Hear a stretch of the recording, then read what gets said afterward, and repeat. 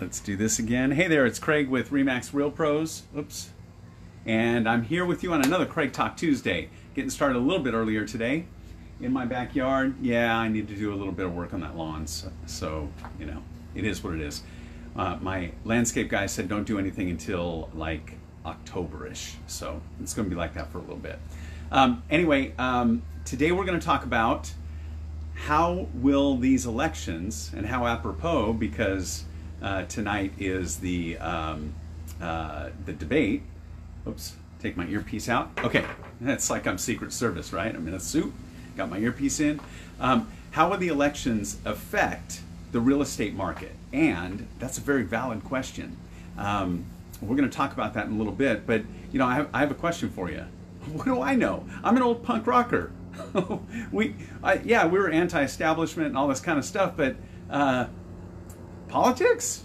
Um, I don't know. Reagan's in, we're done for good. I think that was a song. Anyway, um, we're going to talk about that. We'll explore it.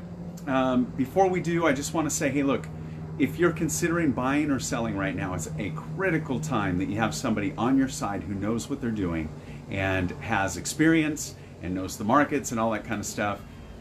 Hi, I'm your guy. Um, please call or text 951 733 5400, or you can go to connectwithcraig.com, and on that website, you'll be able to connect with me.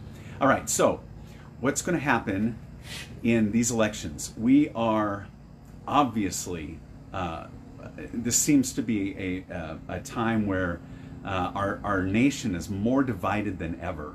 There seems to be more uncertainty than ever.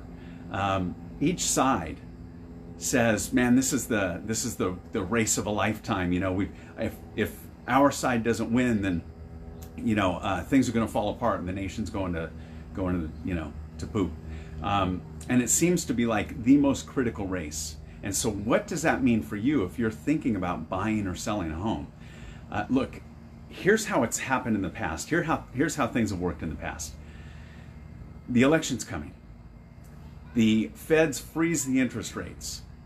So it's usually good for a buyer to keep on going because they know that, that, that the rates are not going to change for at least, you know, at least until after November. So uh, that typically happens. And we hold our breath. And then the election happens. And we finally exhale. And no matter who got in, your guy or the other guy, uh, your gal or the other gal, we look around as Americans, as Southern Californians, and we go, okay, let's see. The sky, yep, the sky's still up there. The ground is still down there. Life seems to be pretty much the same. Let's go buy a house. Um, will that happen this time with all the uncertainty and all the, you know, everything going on? Well, I don't know. But they pretty much froze the interest rates. Actually, interest rates are getting better.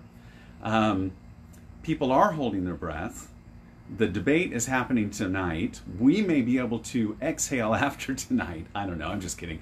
Um, but my my uh, my thought is, the day after the elections, people are going to go, all right, well, kind of the same. In fact, I actually don't think we're going to hold our breath that long because people are still buying and they're still selling as quickly as ever. In fact, this market uh, for a buyer is a really tough market because they're um, for every house that hits the market, almost two homes, one and three quarters homes, goes into escrow.